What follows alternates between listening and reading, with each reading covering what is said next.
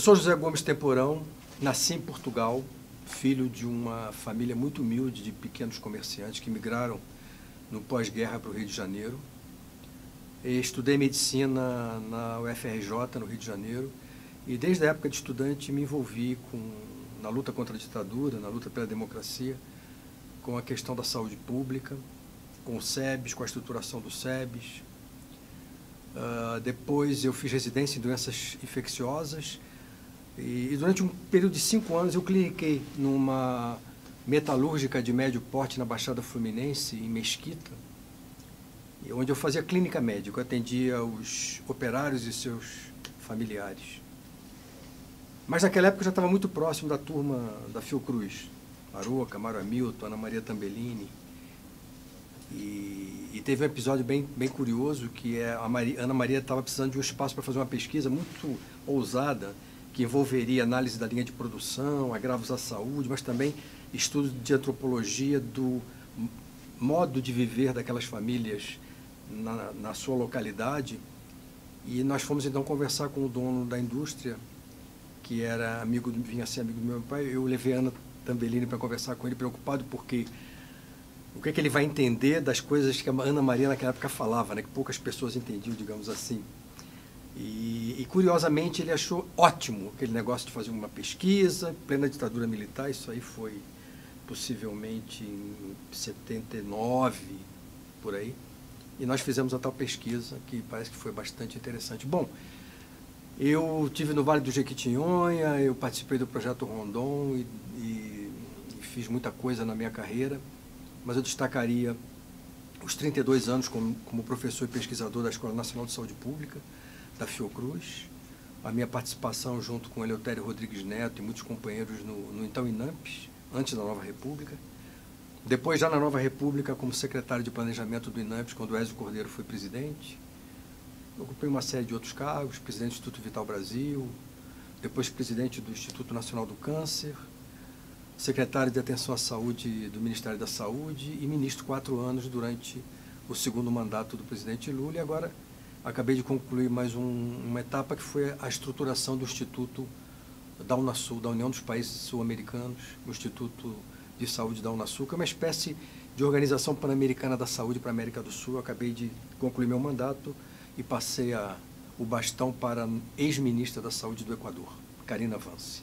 Esse instituto ele foi criado por decisão dos presidentes da República dos 12 países sul-americanos com sede permanente no Brasil é uma entidade pública intergovernamental internacional. Tem o Conselho de Ministros da Saúde, que é quem define a política e esse coletivo que está vinculado diretamente à Secretaria-Geral da, da, da Unasul. É interessante esse instituto porque não tem nenhum bloco econômico ou político no mundo que tenha uma instituição como essa. Na Europa você tem, na União Europeia você tem um observatório de saúde, não é? Você tem nos países do Caribe, do CARICOM, também uma estrutura de saúde, mas um instituto uh, para disseminação de conhecimento, formação de quadros estratégicos, é, discussão de alternativas e caminhos inovadores para a saúde no continente sul-americano é, é, é bem, bem singular. Esse instituto foi criado, uh, quando eu era ministro, nós tomamos a decisão em 2010 de criar esse instituto com sede permanente no Rio, por proposta do Brasil, e, e enfim, ele começou como um projeto pré-Instituto Sul-Americano e agora a presidenta Dilma, no ano passado, assinou o decreto de estruturação desse instituto que está em pleno funcionamento. O, o, financiamento desse instituto é feito pelos 12 países da América do Sul de, de maneira compartilhada, muito parecido com as contribuições que o Brasil dá para a OMS e para a OPAS. Ou seja, cada país tem uma cota e aloca recursos para esse fundo. O nome do instituto é Instituto Sul-Americano de Governo e Saúde, ISAGS. Bom, 1979 foi um marco na estruturação da reforma sanitária brasileira. É, naquele momento, você tinha uma efervescência a nível nacional sobre a questão da saúde, de debate, discussão. Você tinha produção acadêmica interessantíssima, a tese de doutorado do Sérgio Aroca, o dilema preventivista, você tinha Cecília Donângelo, na USP, produzindo coisas muito interessantes, muitos estudos, teses uh, baseadas no, no marxismo e no estruturalismo. Ao mesmo tempo, você tinha muita discussão em movimentos de bairro, em sindicatos, né? no SEBS, que de uma certa forma é, dava o tom, digamos assim, puxava o debate, não é? E, e, o interessante de 79 foi a realização do primeiro simpósio da Câmara dos Deputados, saúde da Câmara dos Deputados, foi a apresentação pelo Sérgio Aroca do documento A Questão Democrática no Campo da Saúde. O interessante é que esse documento, que foi, na verdade, ele não foi redigido pelo SEBS, ele foi escrito pelo Reinaldo Guimarães, José Luiz Fiore e Ézio Cordeiro.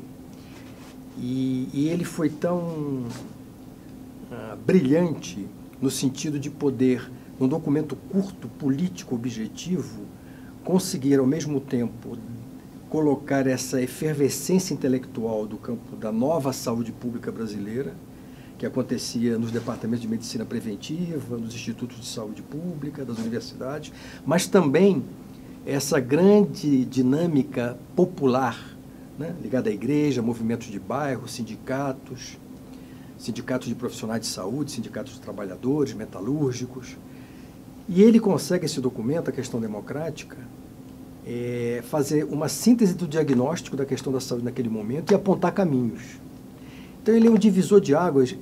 Se nós pudéssemos considerar a, o capítulo saúde da Constituição como a certidão de nascimento do SUS, mas esse documento, a questão democrática, ele está na gênese do capítulo saúde da Constituição. Por quê? Porque a partir dali foi possível chegar à oitava Conferência Nacional de Saúde com uma tese fortemente baseada nesse documento.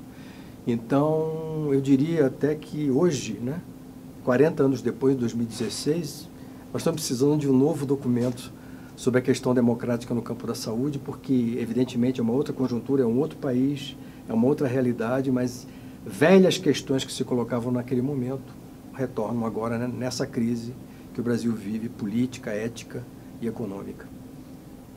O tema da, da relação público-privado é um tema importante, fascinante e fundamental. Eu tenho a seguinte visão: é, desde que o Brasil é Brasil, o, a, o exercício privado da medicina ou da assistência à saúde sempre existiu com as Santas Casas. Né? Depois, nos anos 70, 80, com o INAMPS, onde a maior parte da prestação de serviços de saúde era através dos hospitais privados. É, ou seja, esse é um fenômeno que, que é importante, mas ele pode ser completamente, digamos assim, absorvido por esse ideário reformista, né? desde que essas relações entre o público e o privado estejam de claras, transparentes e essa relação contratual seja sob a égide do direito público. A questão para mim é outra. O, a questão que nós estamos vivendo hoje, com dois subsetores, na verdade, né? um, um, setor público que atende 75% a 80% da população brasileira em todas as suas necessidades, que é o SUS, e de outro lado um outro setor muito dinâmico do ponto de vista do capital, de planos de seguro-saúde. E na raiz dessa questão está, a meu ver, uma dubiedade e uma contradição que era que na retórica, mesmo no processo constituinte, as confederações de trabalhadores, né, ou seja, o, o, o, lado mais dinâmico e consciente do operariado brasileiro, inclusive dos trabalhadores do setor público, na retórica sempre apoiaram o SUS, mas na prática, nos seus acordos coletivos, brigavam por uma medicina, de, um atendimento à saúde privado de qualidade. Então, essa contradição que persiste até hoje, ela não mudou, a meu ver, é o leito através do qual o processo de crescente capitalização da medicina se deu. Por quê? Porque essa dinâmica é uma dinâmica que foge do controle do Estado. Só no ano 2000 foi criada a ANS, que até hoje não conseguiu, digamos assim, plenamente é, cumprir essa função de regulação. Na verdade, você tem aí uma luta crônica, antiga permanente e persistente de luta pela apropriação dos fundos públicos. Né? Então, esse setor tão dinâmico, ele sobrevive em parte graças à renúncia fiscal e subsídio, que, segundo o IPEA, hoje montam a 25 ou 30 bilhões de reais por ano, que, é o, que são a renúncia das pessoas físicas e jurídicas no imposto de renda devido, né, quando abatem as despesas com hospitais, planos, seguros e, e outras despesas, e também renúncia para a indústria farmacêutica e renúncia para as entidades filantrópicas. Isso hoje soma praticamente 30 bilhões.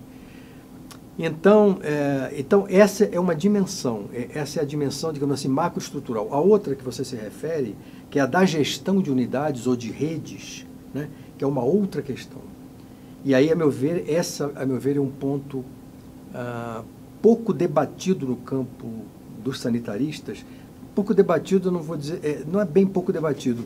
Ele não é corajosamente, transparentemente debatido, porque há grandes divergências aí. Né?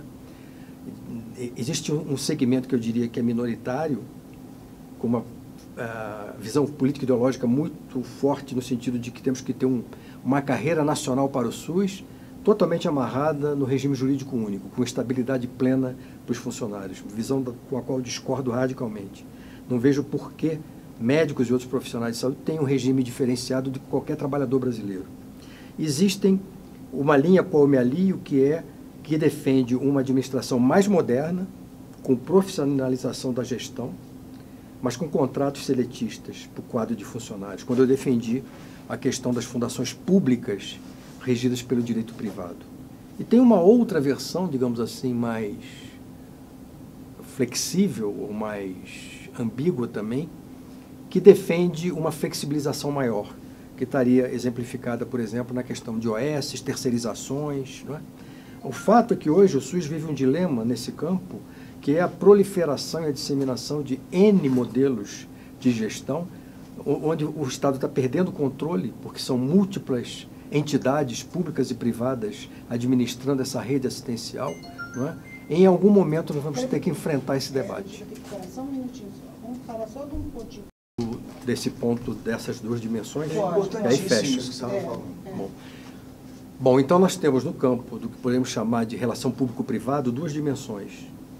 Uma dimensão é, ao mesmo tempo que foi feito nessas décadas um gigantesco esforço de estruturação do Sistema Único de Saúde, com todas as suas fragilidades, mas também com todas as suas importantíssimas conquistas, e de outro lado, paralelamente, uma rede privada que se estrutura e se fortalece fortemente sustentada politicamente pelos sindicatos e confederações de trabalhadores do setor público e privado, que vivem essa contradição, essa dualidade. Na retórica, somos SUS desde criancinha. Na prática, meu plano de saúde para mim e para minha família.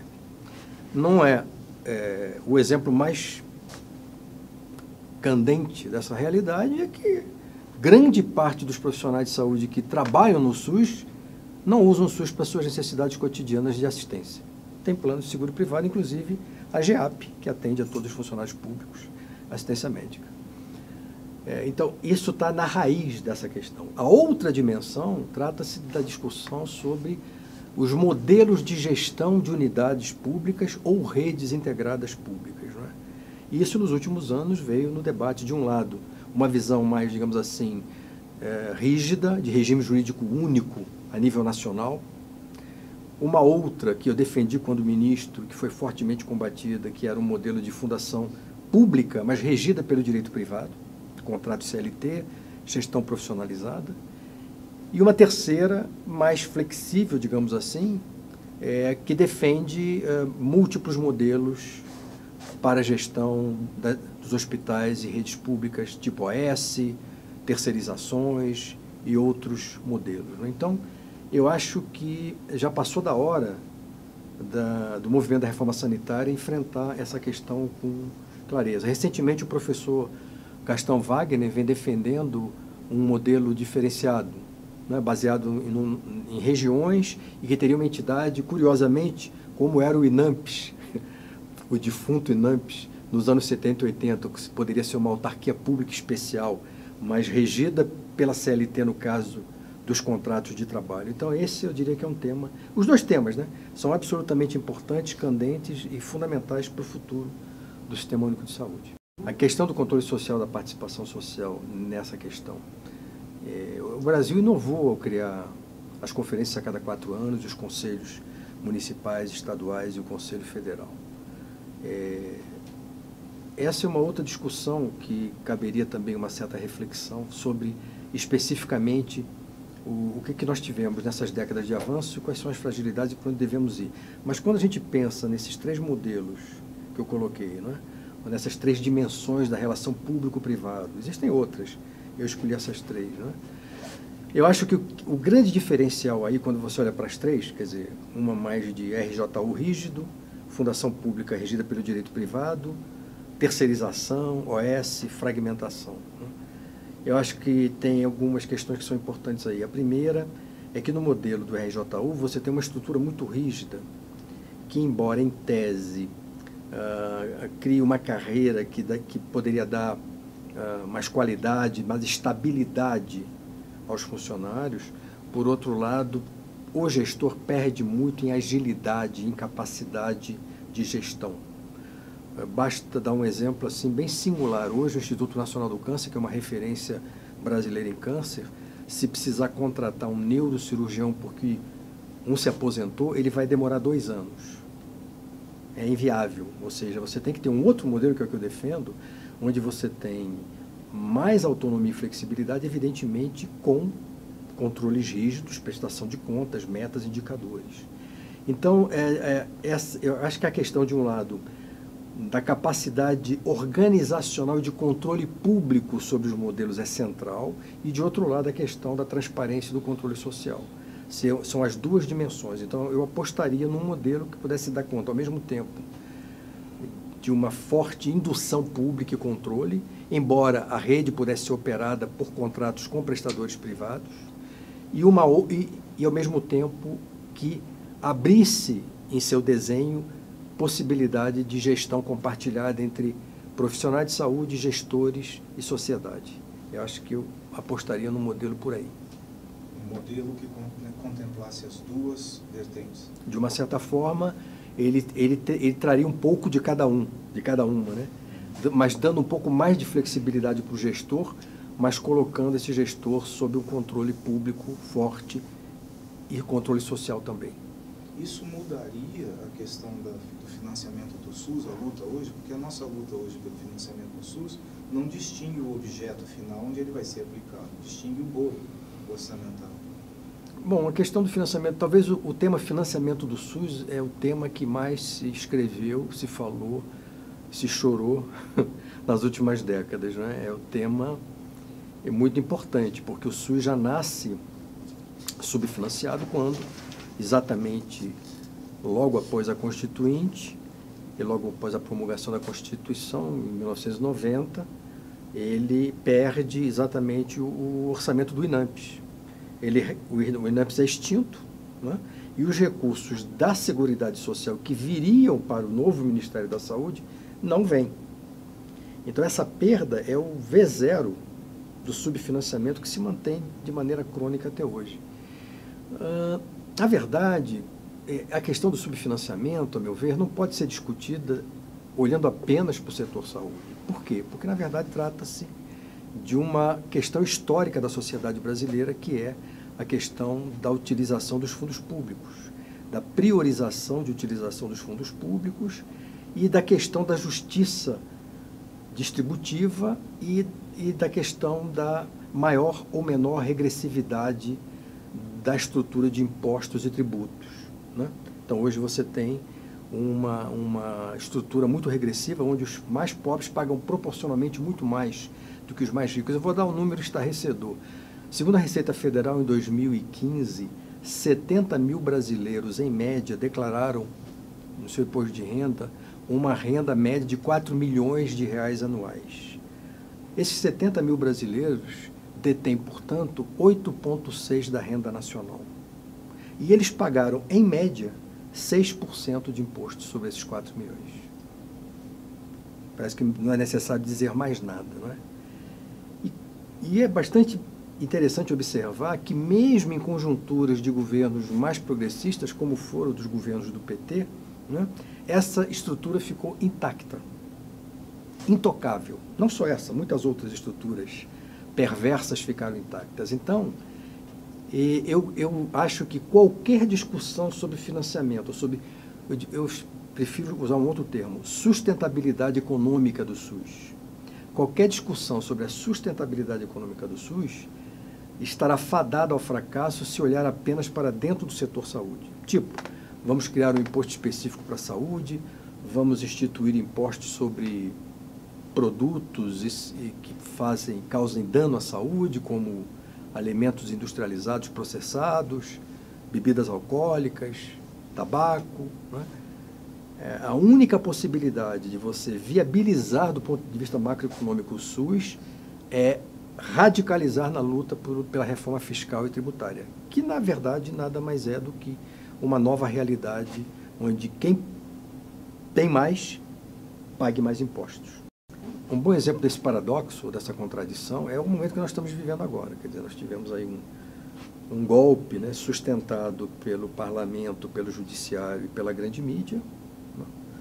O governo que tomou, que tomou de assalto o poder apresenta uma agenda radical do ponto de vista neoliberal e do ponto de vista fiscal, né, a, para perplexidade nossa, a grande solução é uma drástica limitação do gasto social, do gasto público, né, que é o que está na emenda 241. Né. Então, essa, ela, essa emenda, é, já existem vários estudos do IPEA, do Conselho Nacional de Saúde, mostrando que isso terá um impacto extremamente dramático sobre um SUS já subfinanciado que agora caminha para o desfinanciamento. Estima-se que nos próximos anos o SUS possa perder, em termos reais, cerca de 60 bilhões de reais. Então, é, é uma medida, eu não estou nem é, me referindo à questão da educação ou das outras políticas sociais, está na agenda também a desvinculação, por exemplo, das aposentadorias do reajuste real do salário mínimo, e uma série de outras medidas de reforma da Previdência Social, é, que se somam nesse cenário. Mas a, a, a, emenda 241 ela será particularmente danosa. Quando você vê que, ao mesmo tempo que se propõe, um, portanto, um, um drástico corte na quantidade de recursos alocados nas políticas sociais, especificamente na saúde, e ao mesmo tempo se sinaliza para ampliação da oferta de planos de saúde populares ou simplificados como maneira de ampliar, de ampliar o acesso, o cenário está colocado. Né? É uma é visão defendida por segmentos importantes da sociedade que sempre defenderam que o SUS deve ser para os pobres e para as pessoas que podem, de alguma maneira, custear diretamente, ou através de empresas, ou através de desembolso direto, mercado, plano de seguro-saúde. Isso é exatamente vamos dizer assim, é uma síntese de tudo que nós não queremos e que a nossa luta foi não foi para criar um SUS para os pobres, né? foi, foi, foi criar, foi dar início ao que Sérgio Aroca chamou do processo civilizatório, quer dizer, a saúde como um indutor de mudanças estruturais na sociedade brasileira, não só no campo da assistência, mas também no campo das demais dimensões da vida que impactam direta e indiretamente a saúde pública. Existem várias contradições nesse processo. Né? Uma delas está no próprio Congresso brasileiro. Na Câmara de Deputados, você tem uma bancada da saúde, alguma coisa em torno de 200 deputados federais estão ligados direto ou indiretamente à saúde, sendo médicos, empresários. Ou, uh, grande parte, ou parte importante desses deputados tem interesses no orçamento público do SUS sejam, seja sob a forma de serem proprietários ou coproprietários de hospitais que prestam serviços ao SUS, seja uh, por, por, por participarem de organizações filantrópicas que prestam serviços ao SUS. Ou seja, uh, essa é uma contradição que nós temos que trabalhar, né, porque essa contradição ela pode acabar sendo positiva no sentido de alguma medida dentro da 241 que por exemplo, tire a saúde dessa regra, ou crie para a saúde uma regra diferenciada. Né? Então, eu, acho, eu creio que existem sim contradições que devem ser exploradas nesse processo. E eles estariam em oposição aos interesses do capital estrangeiro que recentemente recebeu o sinal verde para entrar de salto alto na economia da saúde no Brasil? A questão do capital estrangeiro, na verdade, o que aconteceu, se eu não me engano, já, já em 2015, que foi a aprovação de uma lei que a presidenta Dilma sancionou, ela formalizou uma situação que na prática já estava praticamente de fato acontecendo. Não creio que haja resistência ou contraposição é, dessas entidades privadas que prestam serviço ao SUS, mas que também prestam serviço a planos de seguros, essa é uma especificidade da, do sistema de saúde brasileiro. Né? A, a, mesma estrutura hospitalar vende serviço ao governo e vende serviço para o mercado. Né? É, pelo contrário, eu acho que isso aí, na visão desses empresários e desses serviços, abre possibilidade de aporte de capital. Né? Então, isso é complexo. Por que, que isso é complexo? Né? Porque quando um fundo de Singapura entra no mercado brasileiro adquirindo hospitais, ele passa a exigir dessa rede adquirida um desempenho que remunere seus acionistas. Então a lógica econômica se subverte completamente. Quer dizer, eu não tenho uma rede de hospitais para prestar adequadamente o serviço de qualidade público, mesmo que privado, mas sob contrato público. Eu tenho um negócio que tem que render é, benefícios pecuniários para acionistas pulverizados que moram em qualquer lugar do planeta. Então essa, esse é o grande, é a grande questão e essa, é, infelizmente, essa, esse tema específico da entrada do, do, do, capital estrangeiro no setor saúde não foi adequadamente debatido. Eu diria que ele não foi debatido, ele tramitou fechado dentro do Congresso Nacional e não houve nenhuma, nenhum debate mais ampliado sobre seus riscos uh, outros problemas. Na verdade, não convive, porque a grande parte do capital que já entrou foi destinado especificamente para o mercado privado. Né? Foi a aquisição da Mil pela, pela, pela empresa americana e, e do, do grupo Dor, se eu não me engano, que o fundo de Singapura adquiriu. São, são os dois grandes exemplos. Né? E também, curiosamente, não houve uma grande entrada como talvez alguns esperassem, né? E por quê? Porque, na verdade, o setor saúde, do ponto de vista do macrofinanciamento, ou da macroeconomia, está em crise. Não só o SUS está subfinanciado, agora desfinanciado. É, acabei de ler no jornal que a Unimed Rio, que tem um milhão de almas cobertas, corre o risco de ser liquidada pela ANS, porque está em profunda crise econômica, como a de São Paulo está já em intervenção. Né? Então você tem aí um, uma, um, uma questão também importante de desequilíbrio da questão econômica também do setor privado. Bom, a questão do papel do legislativo nesses 40 anos é, é bem interessante. Você, de um lado, não pode deixar de, de afirmar que, a, que na Constituinte é, os legisladores deram um grande passo no sentido da estruturação do SUS. Foi um momento importante e brilhante do parlamento mesmo que sobre a égide do Centrão, que era, o grupo de deputados de vários partidos que se autodenominava Centrão, foi exatamente o Centrão, voltando a uma questão anterior que nós já tratamos, que defendeu até o fim a inclusão daquele artigo que a, o exercício da medicina é livre à iniciativa privada. Foi o Centrão que botou aquilo ali, porque na versão original do movimento da reforma sanitária, essa questão não estava colocada dessa maneira. Se aparecesse, apareceria com certeza numa outra redação completamente distinta.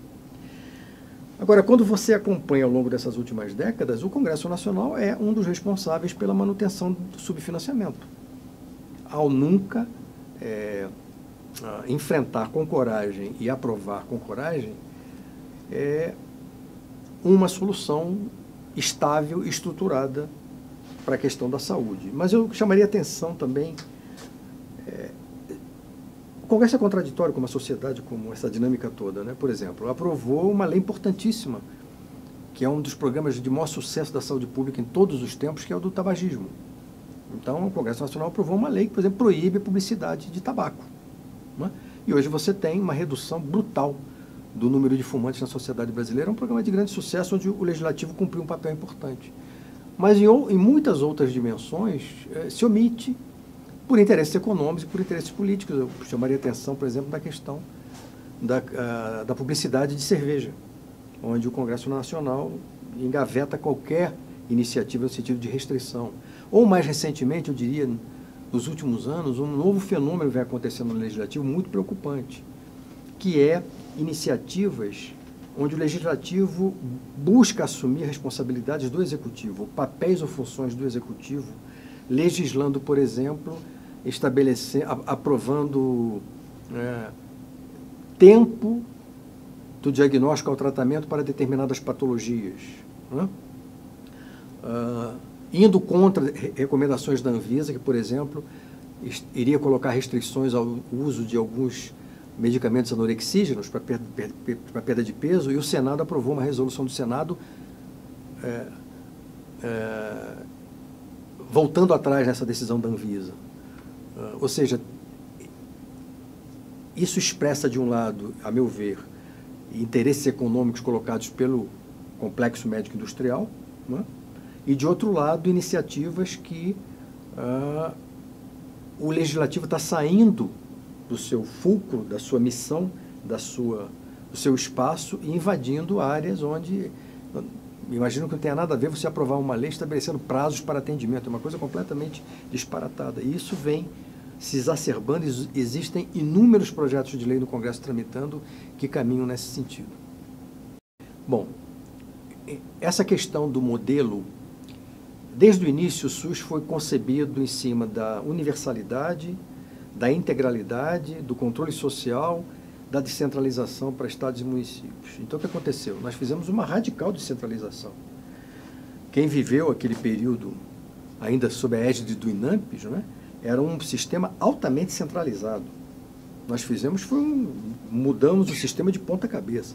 E você teve e aí você teve grandes avanços porque você criou capacidade de gestão e alocou na ponta do sistema milhões de trabalhadores né? e estruturou uma rede que não existia naquela época. É, queria destacar muito isso, né? Quer dizer, qualquer análise que nós façamos hoje do SUS, dos seus dilemas, das suas contradições, em 1988, nós não tínhamos nada. Nós tínhamos os ricos que pagavam diretamente pela atenção à saúde, os trabalhadores formalmente inseridos no mercado de trabalho que tinham a proteção da, do seguro social, e a grande maioria dos brasileiros que eram atendidos pela filantropia e pela caridade morriam à míngua, sem assistência. Nós estamos num outro momento. Nessas décadas, nós estruturamos redes, programas, políticas extremamente importantes e formamos milhões de profissionais de saúde dentro da filosofia do ideário do SUS. Isso não é pouca coisa. Isso é muita coisa. Então é uma outra discussão. Eu acho que é necessário, há um consenso acadêmico ainda, e talvez eu diria que já sendo bastante discutido entre os gestores, CONAS e CONASEMES, de que esse modelo radicalmente descentralizado para os municípios não se sustenta mesmo com as iniciativas da tripartite, dos espaços de construção de consenso, das bipartites. Né? Ele não se sustenta também, entre várias questões, pela questão da escala econômica da atenção. Né? Você tem centenas de pequenos hospitais com um número muito pequeno de leitos que são inviáveis economicamente. Né?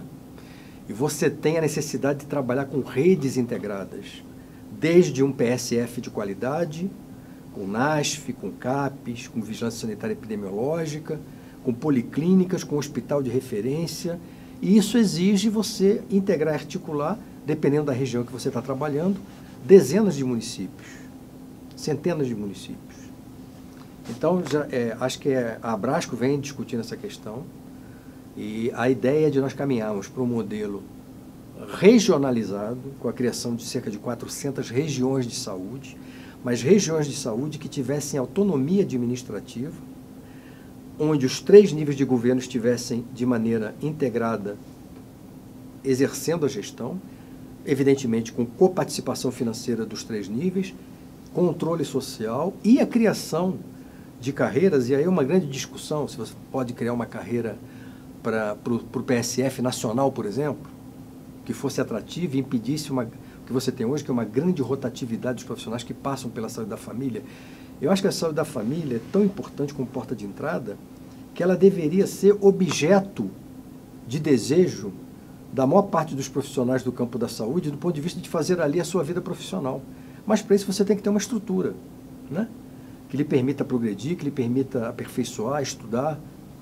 Ah, então, eu acho que essa Acho que houve uma, uma, uma radicalização no processo de municipalização, criou uma grande fragmentação E o momento agora é de repensar um pouco esse modelo e a questão das redes integradas com base em regiões, em macro-regiões, me parece que seja o caminho. Não, acho que o movimento Regiões e Redes está dando uma contribuição importante para esse de debate. Novo, de novo. Não. É, eu penso que o movimento Regiões e Redes, por exemplo, vem dando um, um conteúdo bastante importante para esse debate. Né? Eu insistiria que ele começa a se corporificar ainda muito no nível acadêmico é, e das corporações. Não é? Ainda não chegou ali no. Ainda não houve uma grande ampliação, um grande debate, ou, por exemplo, que a Abrasco organize um, um seminário, um congresso nacional para debater essa questão, e chamando todos aí, Conselho Nacional de Saúde, as entidades, os profissionais, os especialistas, para que daí saia, por exemplo, uma proposta de um projeto de lei para o Congresso Nacional que possa dar um outro desenho ao Sistema Único de Saúde, do ponto de vista da macrogestão. É que vendo esse cenário que você descreve, eu percebo o SEBS com um papel histórico de poder aglutinar essas correntes não corporativas sair do mérito acadêmico que a Abrasco de alguma maneira engessou nos últimos 30 anos, do meu ponto de vista, e que é a minha bronca com a academia, como uhum. ex-professor da Unicamp. Por favor, não mencione isso na sua resposta. Sim, sim, sim. é, mas que o SEBS, nos seus 40 anos de vida, talvez tenha energias para exercer um papel catalisador nessa mobilização por regiões, redes e o papel acadêmico da Abraço, sem ser corporativo. O que você poderia comentar a respeito? Bom, eu vejo o SEBS nesse, nessa trajetória aí como um ator político fundamental. Eu fui presidente do SEBS em 1980 e participei ativamente, principalmente no, no, Rio, de, no Rio de Janeiro, e nós tivemos muitos SEBs durante esse período. Né? O SEBs da revista Saúde e Debate, onde começou a publicar artigos que tratavam da questão da saúde de uma maneira absolutamente inovadora e foi, e foi um instrumento de disseminação de, do conhecimento e também de construção de, de quadros e de movimento, fortalecimento de movimentos muito importante. Teve seus altos e baixos, tem a famosa charge do Enfio, da crise do SEBS, é? Afinal de contas, o que é, é o SEBS? Não, ele não é um partido político, ele é superpartidário, ou transpartidário, né? Ele, ele, ele é o centro de pensamento crítico, ele organiza uh, o, o, povo, ele... Eh, o que, que ele é? O Enfio fez uma charge brilhante, que era um divã, um monte de gente do SEBS, um em cima do outro deitado e um terapeuta ouvindo o SEBS na, na análise, para onde vai o SEBS? É a crise do SEBS. Mas o mais importante é que o SEBS sobreviveu, ele depois, ele voltou agora a ter, a ter núcleos, bastante, alguns muito é, ativos, como o grupo da Bahia, não, eu não estou acompanhando muito de perto todos eles, mas o da Bahia, por exemplo, me, me chama atenção, com muitos seminários e, e muita mobilização. Fez o milagre de manter a revista funcionando durante esse período, que é uma coisa dificílima, considerando as restrições de, de financiamento e de, de, de estrutura para isso. E eu diria que o SEBS, nesse momento, seria a única entidade que, de uma certa forma, paira sobre essas paixões, ou corporativas, ou acadêmicas, não é? ou sindicais, não é?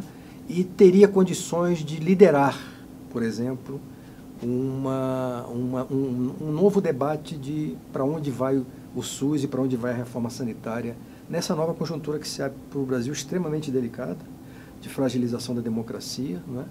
de uh, ataque às políticas sociais, né? de privatização radical. E, eu chamaria a atenção desse patrimônio que nós temos, que é esse exército de sanitaristas, de profissionais formados, né? e que nós temos que, que pensar que nós não estamos sós que tem muita gente preocupada com isso e capaz de lutar por isso. E vejo no SEBS um agente político com todas as condições de liderar, não no sentido de hegemonizar essa discussão, mas no sentido de trazer todas as dimensões desse debate, todos os atores políticos desse debate, para o que eu imagino que possa ser uma nova, um novo documento, a questão democrática no campo da saúde, 40 anos depois. E essa questão da, da presença ou da terceirização da gestão pública no campo da saúde pública, ele me parece importante. Mas eu queria chamar a atenção para algumas contradições. Não é? É, é a seguinte: mesmo em municípios onde o prefeito é do campo progressista, né, é, a maioria deles mantém que herdaram OSs de um governo anterior mais conservador, tem mantido as OSs. E por quê? Por várias questões e por vários problemas. Um é a lei de responsabilidade fiscal. A lei de responsabilidade fiscal coloca limites rígidos a gastos com o pessoal. Então, muitos prefeitos, a única maneira que eles têm hoje, o único instrumento que eles têm de ampliar cobertura e ampliar acesso, oferecendo mais serviços, é contratando uma organização social, porque ela não entra na conta de pessoal. Então, eu já tive com vários prefeitos uh, do PT e de outros partidos do campo progressista que me colocam essa questão: olha, eu tenho que manter, porque se eu não conseguir, eu vou ter que fechar serviços. Então você veja que essa questão ela é uma questão até bem complexa, porque ela tem essa questão da, de uma lei que todo mundo elogia, que diz que é muito importante, foi um grande avanço para o país, mas que talvez tenha que ser uh, mexido um pouco para poder dar conta dessa outra realidade. A outra é a velha discussão que a gente não conseguiu avançar de uma lei de responsabilidade sanitária, que também coloque, que possa colocar de maneira clara quais são as responsabilidades dos gestores e do controle social em relação às políticas de saúde. E que possa, então, portanto, dar garantias de que no exercício do cargo público e do poder e da implementação das políticas de saúde, ele, esse gestor seja obrigado a cumprir determinados padrões do ponto de vista de transparência, de cumprimento de metas, é? de, de cumprimento do que está na Constituição e na lei orgânica do SUS. É? Então, acho que são duas questões. Agora, eu insisto, voltando lá para aquele bloco que nós discutimos, não é? é eu acho que a saúde pública tem que discutir essa questão da gestão das unidades públicas de maneira séria. Porque aquelas três dimensões que eu coloquei, uma mais que puxa o tempo todo para uma visão mais eh, vertical e rígida do RJU. Um modelo público mais flexível e um modelo baseado basicamente em OS ou em falsas cooperativas ou outras terceirizações, que eu acho que não é o adequado, está no momento da gente discutir isso com seriedade. A questão da saúde no contexto latino-americano, eu poderia falar melhor sobre o contexto sul-americano, já que eu participei nos últimos quatro anos do, da Unasul, bem de perto, é, em, 19, em, 2010, os ministros da Saúde da, da, da, América do Sul, os 12 ministros, aprovaram um plano quinquenal com cinco prioridades. Né? Determinação social da saúde, sistemas universais, formação de recursos humanos, vigilância sanitária epidemiológica e acesso a medicamentos. É evidente que a saúde no contexto sul-americano foi fortemente influenciada pelo Brasil, pelo exemplo brasileiro. Né? A situação hoje é bem distinta, porque, na verdade, a Unasul foi um, ao contrário do Mercosul, que é um acordo econômico, a Unasul foi um acordo político de fortalecimento da América do Sul, integrando o continente através de várias políticas sociais, econômicas, de integração do continente, culturais, educacionais, de saúde e outras. Né? E ela foi lá fortemente liderada pelo presidente pelos três presidentes, Kirchner da Argentina, Lula e Chaves. Né? O cenário mudou radicalmente. Né? O importante foi que nós conseguimos, nesse, nessa janela de oportunidade, manter a estrutura do Instituto ele agora está em plena vigência e, e, trabalhando. Mas essa questão, eu destacaria a questão dos sistemas universais. Né? Essa questão está sendo vista no contexto sul-americano de uma maneira muito positiva. Mesmo países que tinham um sistema de saúde um pouco assim, meio como o Chile, por exemplo, né? a, a, a Michelle Bachelet, a presidente, está fazendo uma reforma que, em certa medida, aproxima um pouco do ideário do nosso sistema único de saúde. Né? A Argentina talvez seja, a Argentina e Colômbia talvez sejam exemplos mais eh, complexos, porque a Argentina, por exemplo, mantém um sistema de saúde como era o nosso nos anos 60, com caixas controladas por sindicatos, cada um contrata os seus prestadores, é completamente distinto. O Equador, por exemplo, avançou muito para o modelo mais próximo do modelo brasileiro, né? a, a Bolívia também, o Peru mantém uma coisa mais heterodoxa. Uh, mas essa questão é tão importante que, veja, a Organização Mundial da Saúde e a OPAS decidem colocar um debate contrapondo os sistemas universais um modelo diferente que eles chamam de cobertura universal. Ora, cobertura universal não me diz nada, porque a cobertura universal pode ser, eu posso cobrir toda a população de um país por um pacote de serviços precários. Né? Então há uma tensão aí, a nível internacional, eu diria, entre o conceito de sistemas universais, que o Brasil continua sendo, mesmo nessa conjuntura tão difícil, a referência, e cobertura universal, que cabe, é um guarda-chuva onde cabe tudo. Cabe plano, simplificado, cabe tudo. Contar uma história aqui bem interessante, quando eu era ministro, eu estava numa reunião em Londres de ministros da saúde do mundo inteiro. E essa reunião, ela teve uma sessão coordenada pelo Sir uh, Michael Mormont, que é um dos mais brilhantes sanitaristas do mundo, é, e que e onde nós tínhamos cada ministro 10 minutos para falar do seu sistema de saúde. Então tinha gente das Américas, tinha gente da África, da Ásia. Muito bem, ao final ele faria um, alguns comentários. Né? Ele fez vários comentários, e o último comentário dele, dele foi o seguinte. Ele falou assim, para concluir, eu queria dizer para vocês o seguinte, vocês querem mesmo saber o que está acontecendo de inovador na saúde pública mundial, de verdade? Olhem para o Brasil, aprendam português e vejam o que está acontecendo lá. Isso foi em 2010. Então, eu diria que essa, essa visão mundial de que o Brasil vinha construindo alguma coisa muito inovadora e muito importante foi muito forte. Infelizmente, esse processo hoje se perde, porque a própria presença internacional do Brasil em vários espaços está se degradando de maneira acelerada. Eu queria lembrar aqui um brilhante sanitarista, sebiano, Carlos Gentili de Mello. O Carlos Gentili de Mello, quando eu era presidente do SEBS, ele ligava com muita frequência para minha casa, sempre à noite. E era muito engraçado, porque quando ele ligava eu sabia quem era, porque tocava o telefone, eu atendia, e silêncio do outro lado da linha. Aí eu, alô? Silêncio. Alô? Aí ele falava, temporão? Sim. Carlos Gentili de Mello. Aí ele começava. Ah, porque eu vou para o seminário aqui, o seminário ali, o SEBS, ah, vou lançar meu livro do SEBS. O SEBS foi, foi a entidade que publicou os primeiros livros do Gentili. E o Gentili dizia o seguinte, o sanitarista, é, aí eu lembrei também de Nelson Rodrigues, né? o sanitarista está condenado ao otimismo. E ele se autodenominava um otimista incorrigível. Então, mesmo que nós estejamos passando uma conjuntura muito difícil?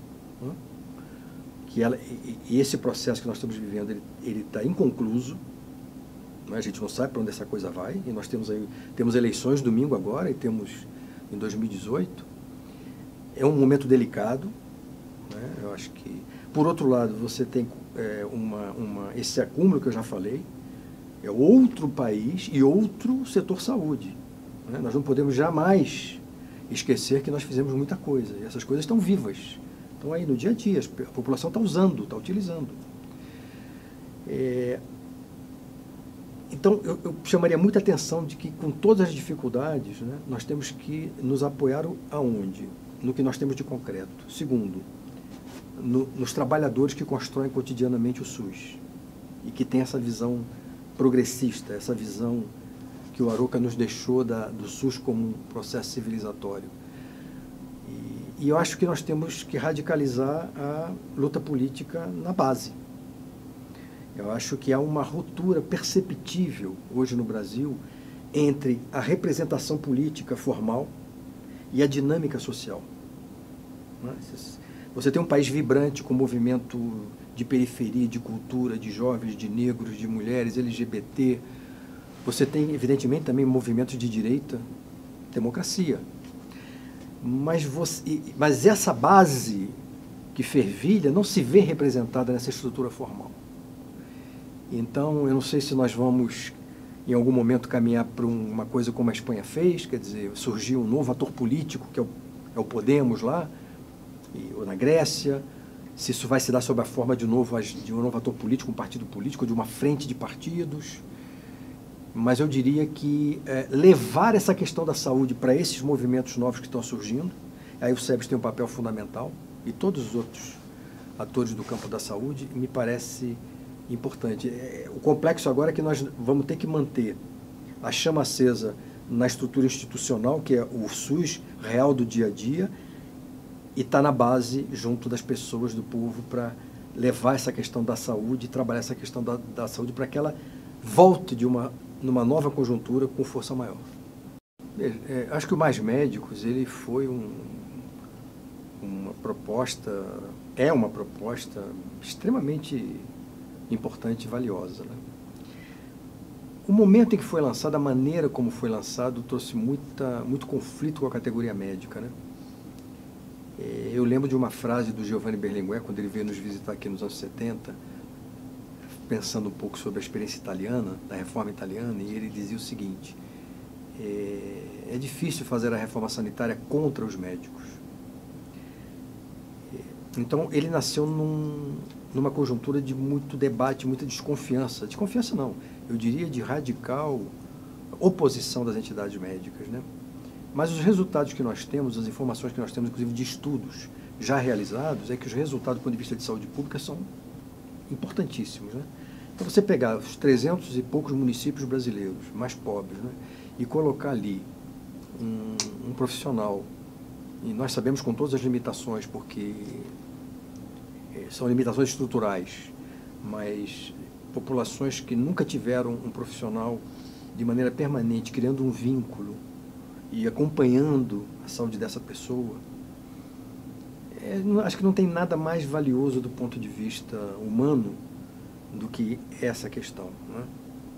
do vínculo que se estabelece entre quem sofre e quem está ali para ajudar.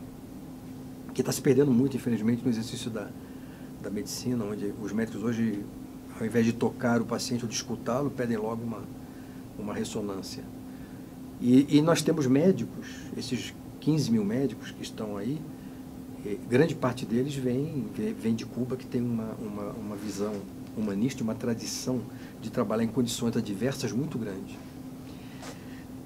Seria curioso pensar, instigante também pensar, o que está acontecendo no, é, em termos de construção de uma consciência política sobre saúde nessa população que está sendo atendida por esses profissionais. Né? O que está mudando? Muda apenas. Bom, agora eu estou mais satisfeito que eu estou me sentindo. Estou sentindo que o, que o governo tá? Tá, tá me colocando aqui um profissional sério, eu me sinto acolhido, eu me sinto mais seguro. A minha mulher se sente mais segura, a minha filha que está grávida se sente mais seguro, o meu neto se sente mais seguro. Essa é uma dimensão. Né? Uma outra dimensão seria, bom, finalmente eu estou sendo reconhecido como cidadão, porque eu estou tendo acesso a um serviço que é um direito meu, eu nunca me deveria ter sido negado. Mas tem uma outra dimensão, essa seria a interrogação, se, se esse encontro histórico desses atores cria alguma outra, uma consciência superior, do ponto de vista político, de fortalecimento do sistema público, do SUS, como uma coisa que deve ser preservada, fortalecida e construída para as futuras gerações. Quando você é, olha um pouco, um pouco para a dimensão institucional do SUS, então você tem o governo federal lá, Conselho Nacional de Saúde, você tem o conjunto de secretários estaduais no CONAS, o conjunto de secretários municipais no CONASEMES. E você tem um encontro ali na tripartite. Né? A tripartite se, se uh, sofisticou, quer dizer, ela tem hoje comissões permanentes temáticas, né? você tem especialistas trabalhando ali. Né? É, é uma coisa bem brasileira que a gente criou, quer dizer, para aprovar uma política nacional é um gigantesco esforço que pode demorar anos. Por quê? Porque você tem que discutir a exaustão, você tem que fazer estudos macroeconômicos, você tem que discutir o impacto lá na ponta, né? Às vezes há muita resistência dos gestores estaduais ou municipais sobre iniciativas do governo federal e vice-versa. Quando o governo, a iniciativa é na ponta, o governo federal diz, bom, mas quem vai pagar essa conta? E, e quando a iniciativa é federal, diz, não, mas quem vai fazer isso? Vai recair sobre minha responsabilidade de executar. É muito delicado e exige uma capacidade de construção de consenso muito grande. Mas eu diria que esse espaço institucional ele tem uma limitação dada do ponto de vista político, que é que, inevitavelmente, até pelo seu DNA de formação, ele, ele se debruça e se aprofunda sobre políticas institucionais. Né? Embora você possa perceber em alguns momentos, em algumas conjunturas, vamos dizer, a rejeição da CPMF, teve um grande debate em 2007, onde o CONAS e o CONASEM se posicionaram como atores políticos. Eles se posicionam como atores políticos em alguns momentos, mas esse posicionamento ele tem claras limitações, porque são secretários vinculados a partidos que têm um cargo de confiança em governos, idem o ministro, idem, enfim, isso limita, né?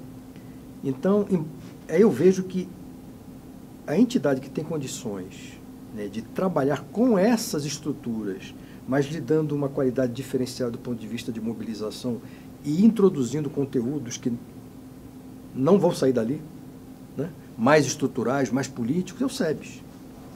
Quer dizer, então o SEBS tem que trabalhar também com essas entidades, tem que trabalhar com o Conselho Nacional, está no Conselho Nacional, tem que trabalhar com o CONAS, tem que trabalhar com, com o CONASENS, mas dando qualidade a esse debate. Acho que a gran, essa grande contribuição que o SEBS pode dar, porque o SEBS vai trazer um olhar distinto, diferente. Ele vai estar ouvindo o que está acontecendo na ponta, na base, não na visão institucional, na visão popular. É?